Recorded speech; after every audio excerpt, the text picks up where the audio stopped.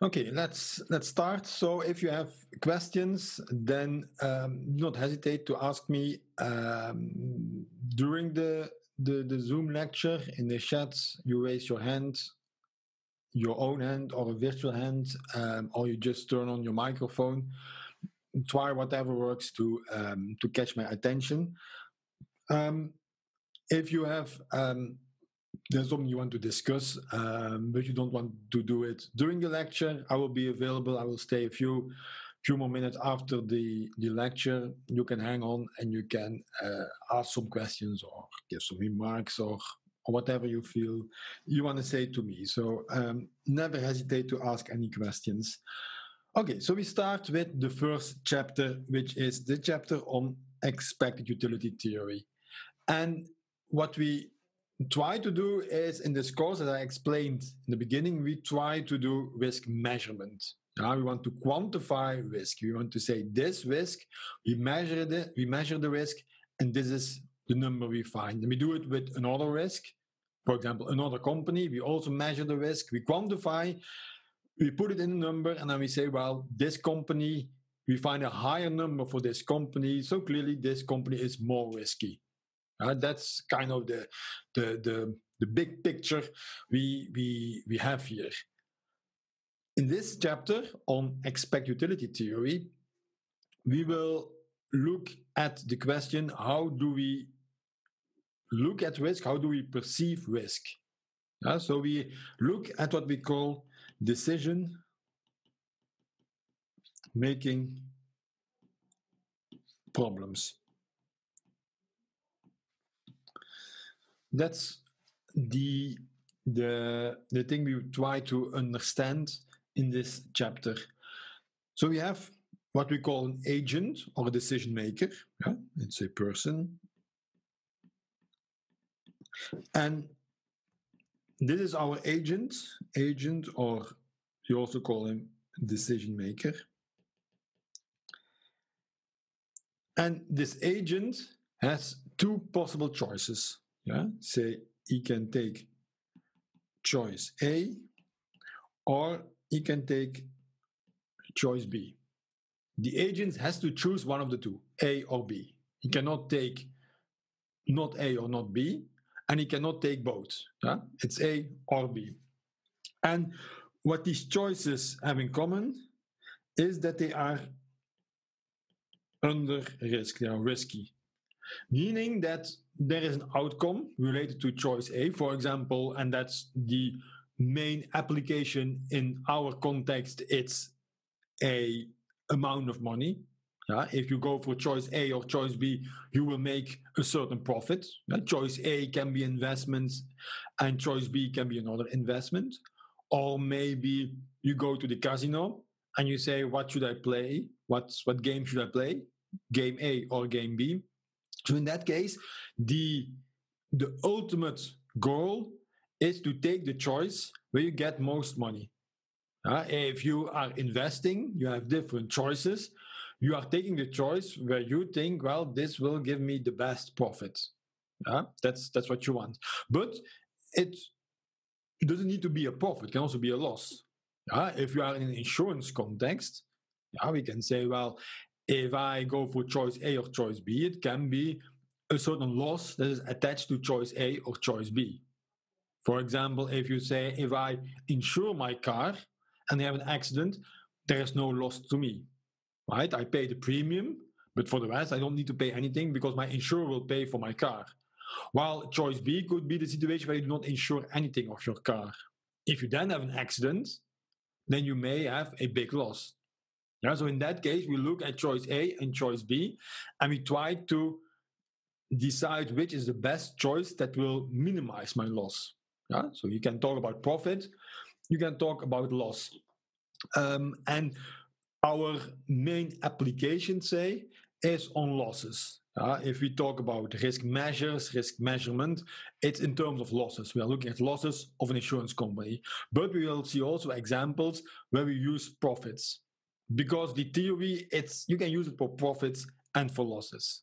So in a you will see expect utility theory also in a financial course.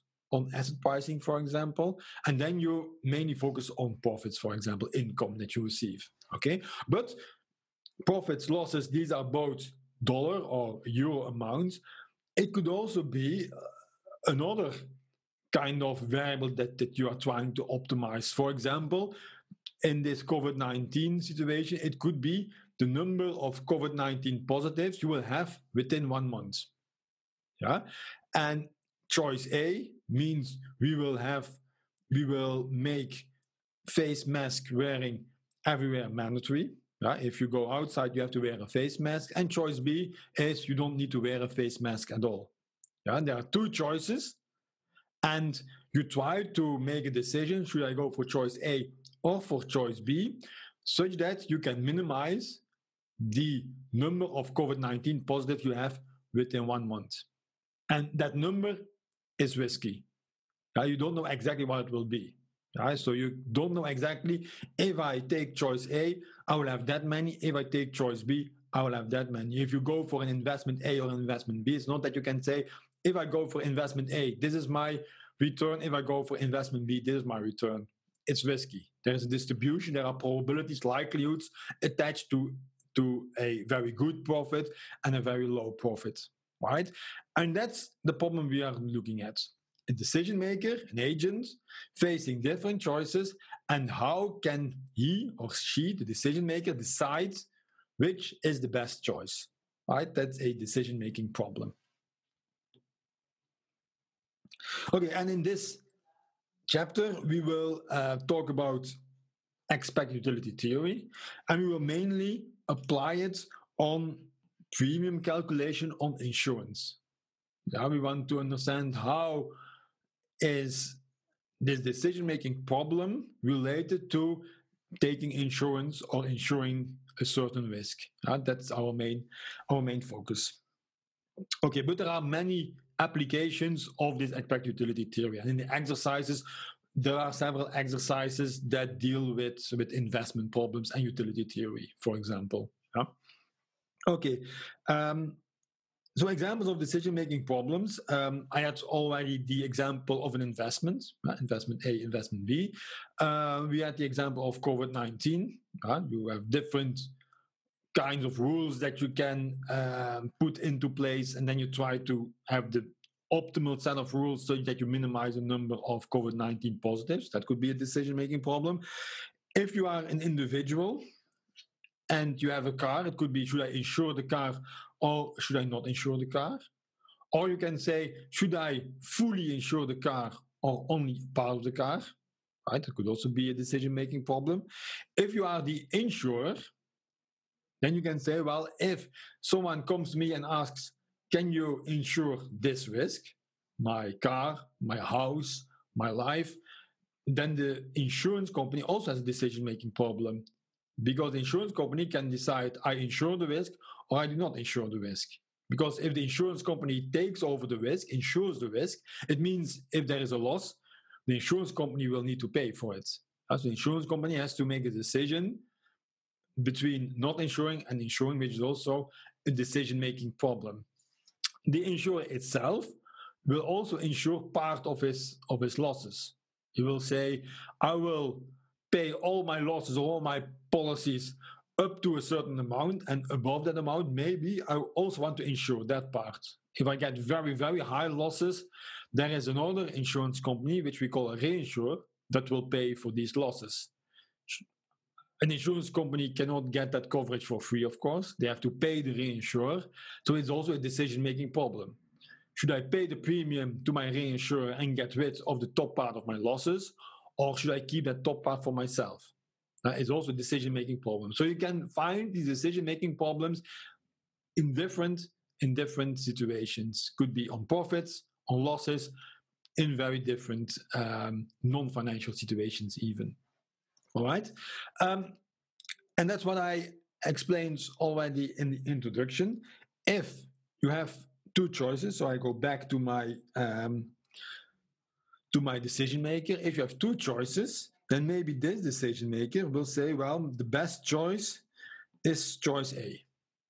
Yeah, I investigate the risk, I look at what are my possible losses, my possible profits, what are the probabilities, and so on and so on. And this decision maker says, I go for choice A. Then there could be another decision maker, say this one here. Oops.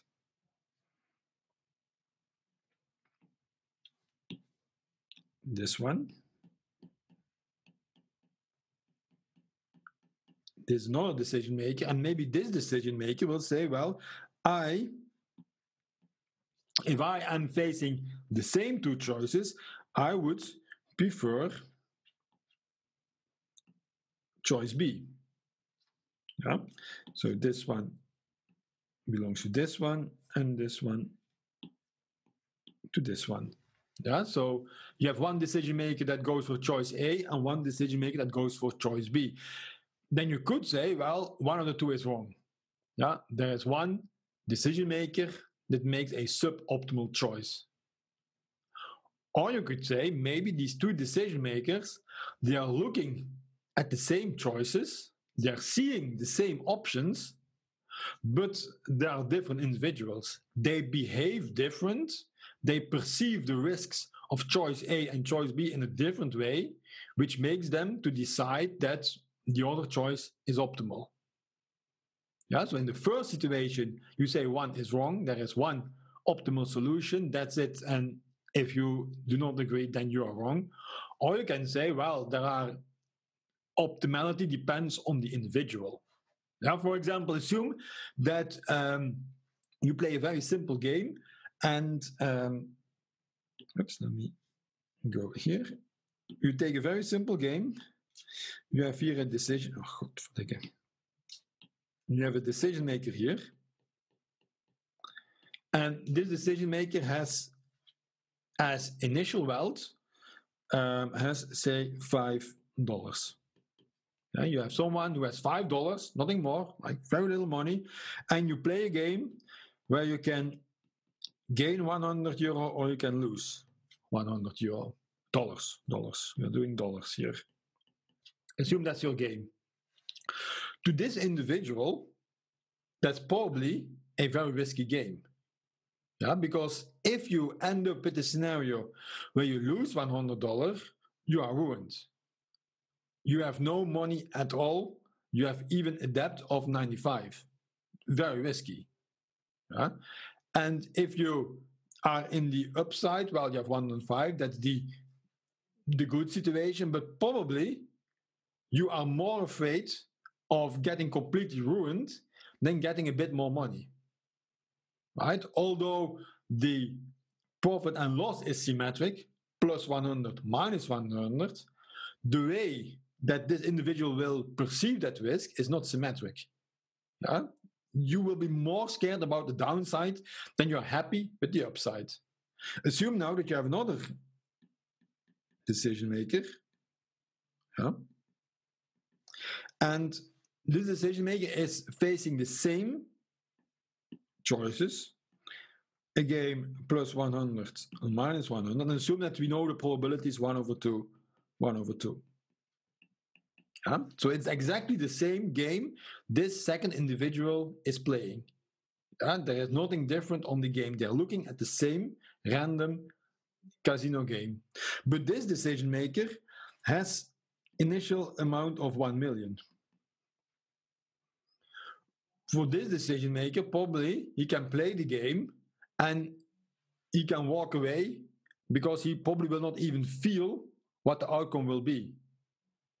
If they add 100 to his big capital of 1 million or they subtract one 100 from his capital he probably will not even notice it. Right? So the game is the same in two situations but the way you look at the game is completely different. Probably the first one will say no i'm not going to play this game at all. Way too risky. While the second one will say yeah let's play the game.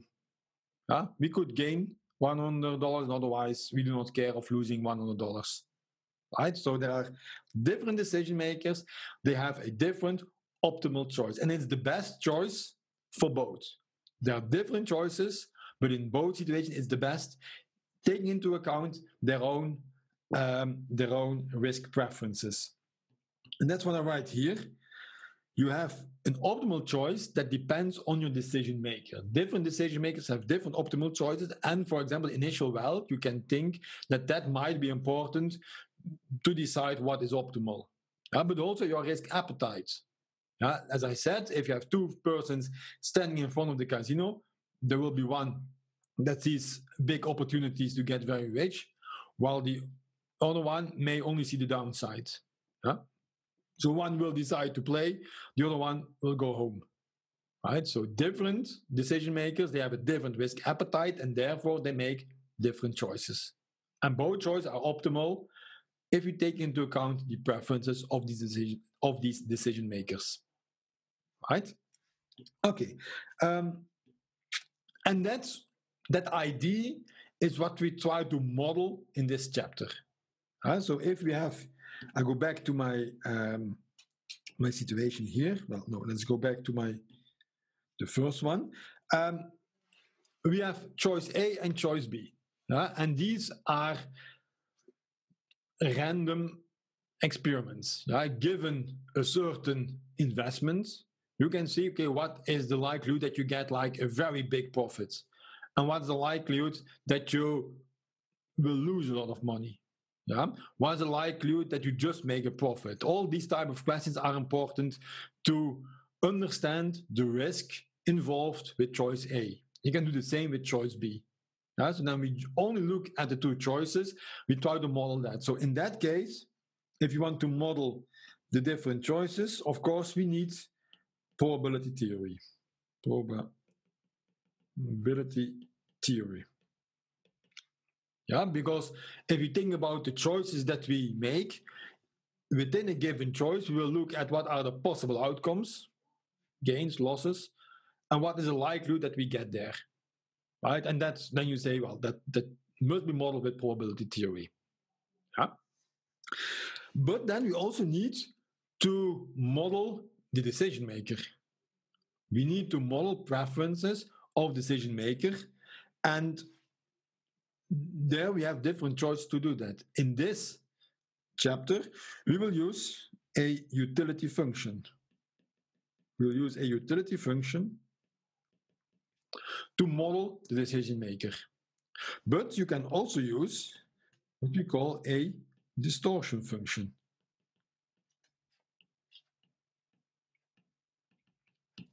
And then you are in a different theory it's not the expect utility theory, it's what we call the dual theory. And for example, the dual theory, it's a different theory to look at the same problem. Yeah, and what you want to do in this dual theory, you want to model the decision maker in a different way. Again, use probability theory to model your choice A and your choice B, and then see the interaction. How does the decision maker that I model with this function, how does it cope with choice A or choice B?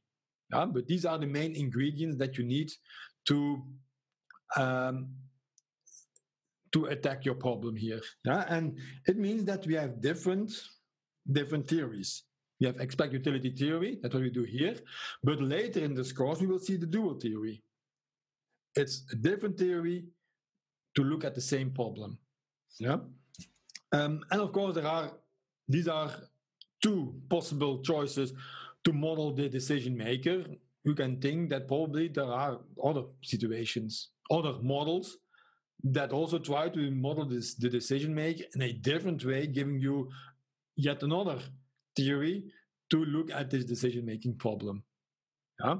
So that's the the main uh, the main framework we are um, we are looking at, and I think the expect utility theory it's the say the most important theory if you look at these decision making problems. There are um, some improvements on the expect utility theory, but uh, the basis of many theories is this expect utility theory.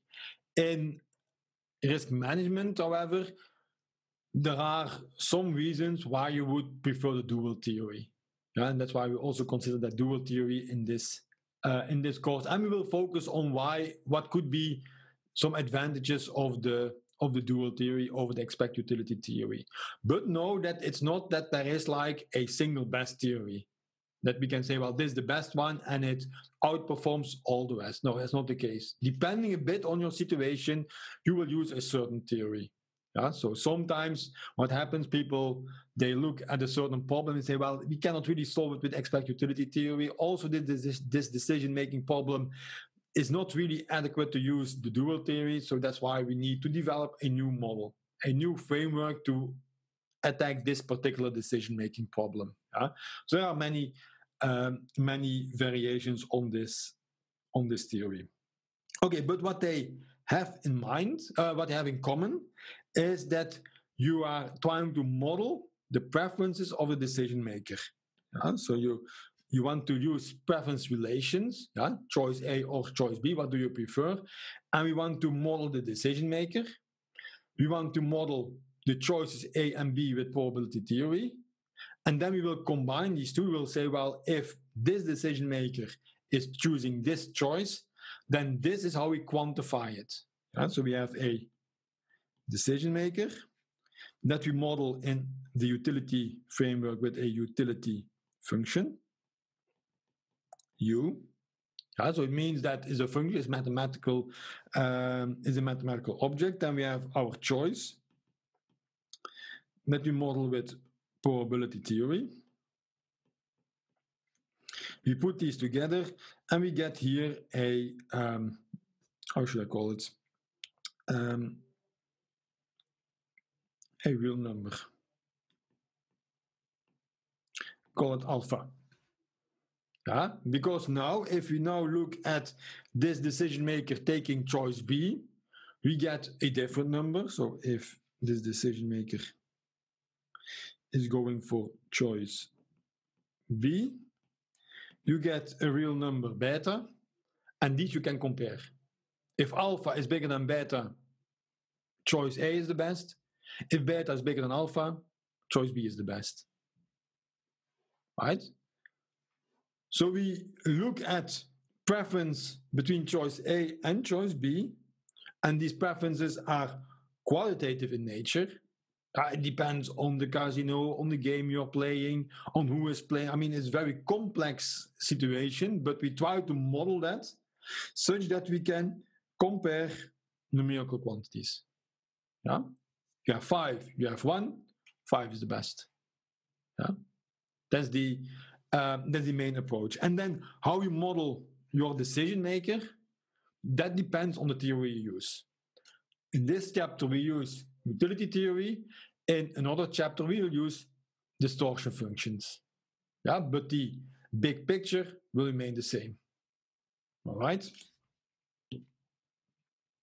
Okay, let me um, briefly go over some main concepts that we will uh, that, we will use. Um, so assume that you know the basics of calculus, that you know what's the function, what's a especially a real valued function, yeah, you have different types of intervals. You have functions that are non-decreasing. You have functions that are non-increasing. Um, you have continuous functions. You have differentiable functions. And sometimes whether a function is continuous or differentiable or not is important for us. Uh, so we, we need that continuity and um, differentiability. Okay, uh, but I assume that you understand these these concepts. Okay, then we go um, to the um, next important bit. It's the probability theory. Um, everything that has to do with probability spaces, random variable distributions, and so on. But let me first ask you a question: Who is who says you don't need to tell me anything about probability spaces? We we have a solid basis.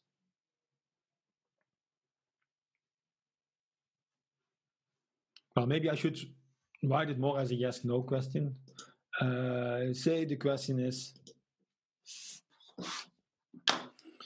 Who needs some introduction into probability theory?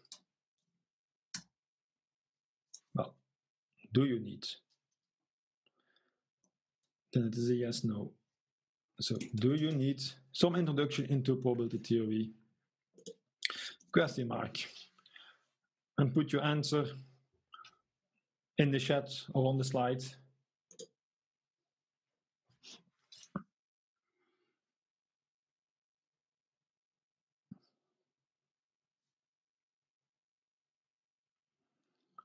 Okay, I see a lot of no's. Okay, that's very good. So in the video, I will upload a video. There I will do some examples, very simple examples on probability spaces, random variables. Um, so you can have a look at that. Let me um, ask you one question. Assume you have this probability space, omega fp. Um, first question, how do we call f mathematically?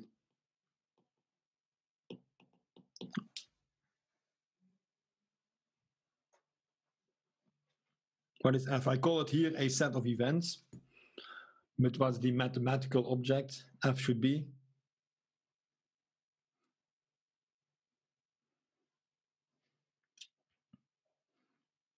A sigma algebra. Yeah, a sigma algebra. Will we approach probability from a measured theoretical point of view? Uh, not too much. Um, I think what I try to explain in the video is the understanding of probability space that because we don't use probability spaces a lot, right? We skip that level of the probability space and we go direct to the random variables. But you have to understand a bit what's behind a random variable. It's always a probability space. Yeah, so that's why I try to explain a bit um, in the video. You can watch that. So, well, yeah, that's good. It's F should be a sigma algebra, which in um, if you are in a continuous case is sometimes a bit tricky. Yeah, in discrete case, it's very simple. Uh, what's your sigma algebra in um, in discrete when you have a discrete omega? If I have um, if I throw a dice, then my uh, omega is one, two, three, four, five, six. What's then my sigma algebra?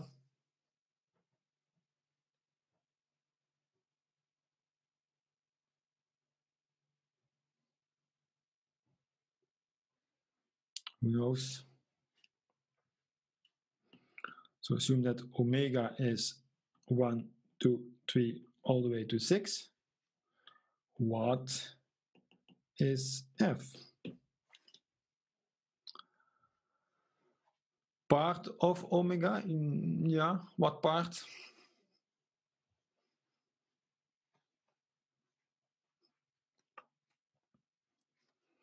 Who knows?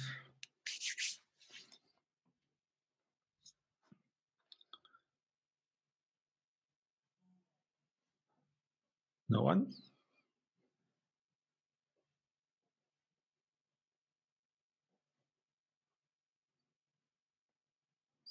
Okay, maybe we come back on that later. Watch the video and you can maybe solve it. Um, last question on probability theory is assume that I write this. The probability that you have a random variable x, x is a random variable defined on this probability space. And now I'm looking, for example, x is your profit. I'm looking at the probability that x is larger than zero. The probability that you make a profit, for example. Why or what is wrong with this statement mathematically?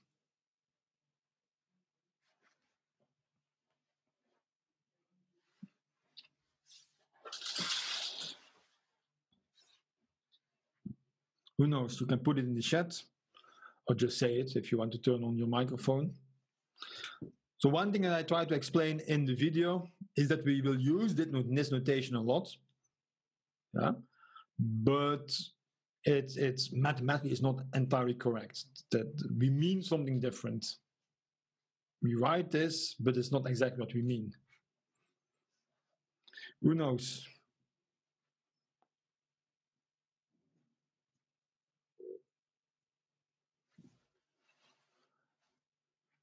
Yeah, so we actually measure some object in F. Yeah, we we should measure some object in F, right? A probability measure, that's what I have here, is a function from your sigma algebra to 201. and this is not a set in, in your sigma algebra. Right? So what we mean here is, is the probability of a set, yeah, so yeah, is a set of omegas from your probability, uh, from your universe, such that x omega, so in the scenario where you realize omega, your random variable will be larger than zero. This set is a subset of your omega. Yeah, it's a part of your universe, and this is therefore in F. Yeah, and I can use my probability measure on that on that set of on that subset of of omega and get a probability. Yeah, so this is what we write.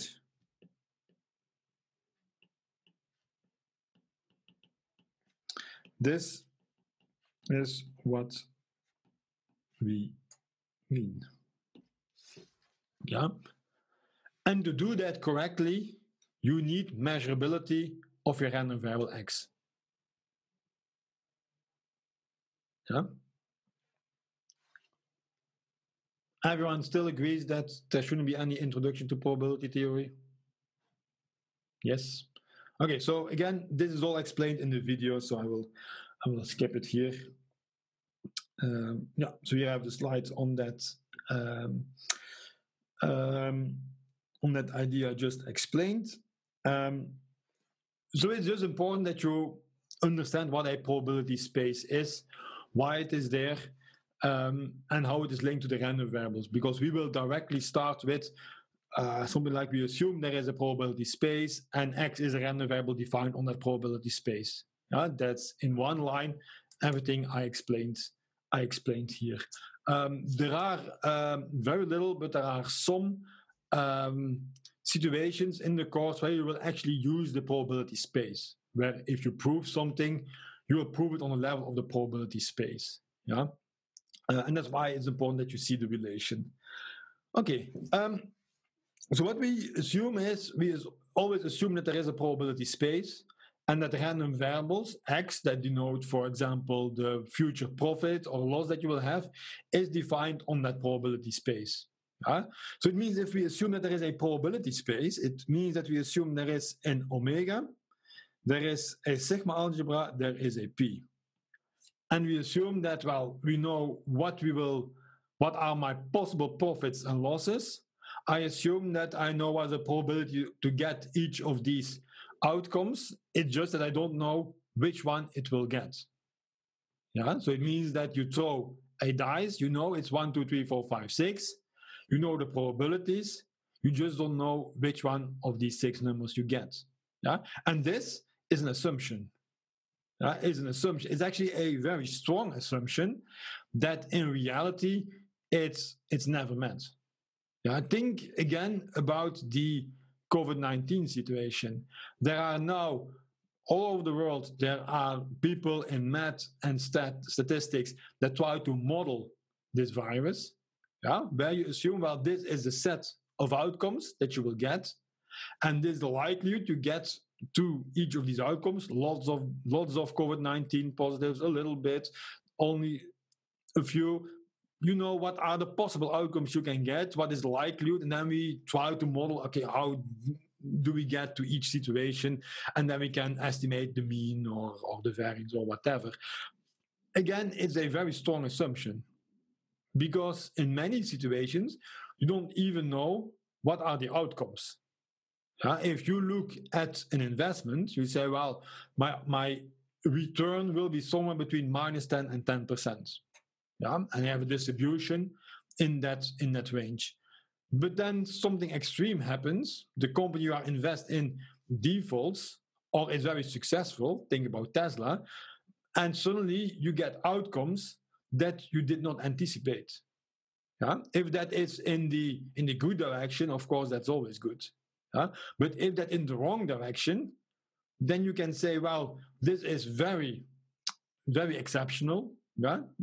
something happens here and there was no way that we could have anticipated that Or you can say, well, maybe we made an error. Yeah, our assumption on the probability space, the universe omega that we used, was just the wrong omega. Yeah, so, and that's what I write here. The situation where you know your universe, it's almost never met. There is always uncertainty or on the universe, or on the probabilities, or on both. Yeah? Actually, the only place I think where you are in a situation where you exactly know these are my possible outcomes, this likelihood of each outcome, is when you are going to a casino and play a random game. If you play blackjack, you know exactly what the game is. You know exactly what are your outcomes, what are the probabilities. But outside the casino, in P&C insurance, in life insurance, COVID 19 modeling, you have no idea. Right? So it's, and if you want to take that into account, and we will say a little bit on that uncertainty later on, you need different models than that we consider here in this course. Uh, you need to add an extra layer of complexity, not on the outcomes, but on your probability space. Right? Okay, uh, there was something else I want to say, but I forgot. Um, what was it? It was on the uncertainty of the outcome. So at the investment, which of course gives you uncertainty. Um, no, the other one, I don't know anymore. Okay, and the um, the last part of the um, probability theory and what we will always use is this CDF, this distribution function. So a distribution function, a big F of a random variable x is defined using this probability. Again, this is kind of the shorthand notation where we understand this probability as a probability applied on, on an element of your sigma algebra. Right? But we write it in this way because we, we know what we what we mean with that. And we assume that the function x is measurable and has all the nice properties that we can actually actually do this. Okay, so a CDF, um, let me draw it here, is a non-decreasing function uh, because you have the probability that x is smaller than something. Uh, so if you take x, small x, to minus infinity, you always get zero.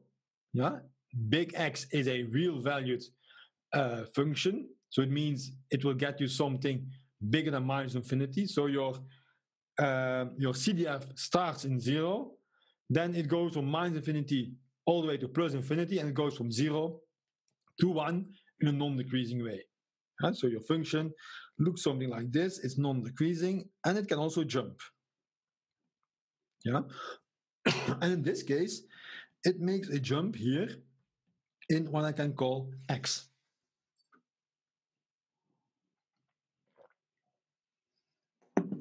If you have a jump, it's always a right continuous jump. Right continuous because you have smaller or equal. Yeah, that's why it is a right continuous, not a left continuous jump. If you like left continuous functions more than right continuous functions, you can redefine the CDF with a strict inequality. Yeah, and you have a left continuous um, left continuous function. But the convention is CDFs are right continuous. Okay, then we call the jump size. If you make a jump, we call it delta delta x. Yeah, and this delta x is fx of x, it's this point here, minus this level here. And it's actually where the function is right before you are in x. Yeah, so in x, you have this function value, but right before x, you get at this level, and that's what we call fx x minus. Yeah? It's your left limit. Yeah. So the the the jump size it's the function value in x minus its left limit. Is there a question? No. Okay. X minus. Okay. Um, that's your jump size. And then you see that if you have a function that is continuous, then your delta x is zero. Right? So you have that this delta x is, um, well, say, strictly positive than zero if the function has a jump in x and it's zero if f x is continuous in x. Right? And the delta x, I can write the CDF as the probability that x is small equal than x, right? And that left limit, the only difference is that you do not take this point x. Huh? You have all the probability mass up to x, but not x included. So this is minus the probability that x is strictly smaller than x. Yeah? Which is equal to the probability that x is exactly equal to x.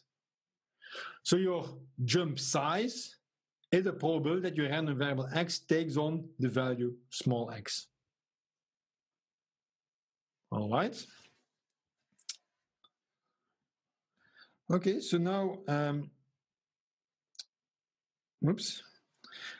Let's have a look at d fx of x. Uh, because we want to do integration. Yeah, so we need to define df, um, which is your differentiable, but we define it in the following way. And we say, well, this df is equal to delta x if delta x is strictly positive. Means that dfx is equal to your delta x, yeah, the probability, given that you make a jump. Yeah? If your CDF does not jump in x, then delta x is zero, and then we assume that this function f, big F, is differentiable. I can take the derivative in x multiplied with dx. And we refer to this thing as the probability that your random variable x is in the interval x x plus dx. Right?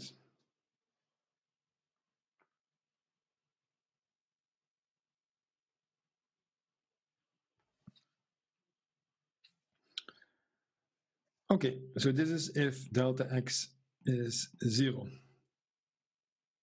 So it means that we have two situations in a point x of your distribution function. Either your distribution makes a jump, or if it is continuous, it does not jump, we assume that the distribution function is also differentiable. Yeah? We can relax that assumption a little bit by saying that the distribution function is absolutely continuous. Anyone knows what absolutely continuity means?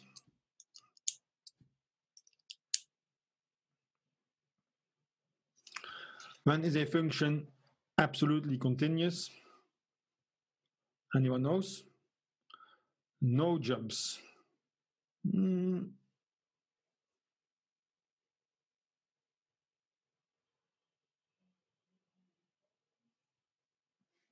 Have jumps.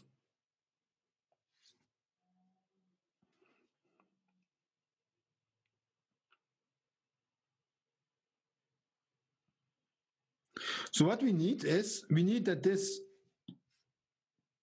derivative exists, right? If you have a function that is not differentiable, you cannot write f prime yeah, which would be a problem if you want to write down this definition. But this definition is used to define this d of x. And we use that d of x in an integral, right? We use the integral of something d of x of x over a certain interval. So if you integrate, there could be a few points in your integrand that are not well defined. Yeah, if you just change in your function one, one point, your integral remains the same. Yeah, for example, if you have this function here, I can change one point, this one, I can put it here. The integral remains the same. Right? That one point will not change any mass below my curve. Yeah, so with absolutely continuity, we say, well, we allow f prime to not exist in certain situations. Yeah, so it means that you have that your d of x is equal to delta x if you have a jump. It's equal to f prime if you have continuity in x, except for a few set of discrete points where the f prime is not is not defined, not well defined.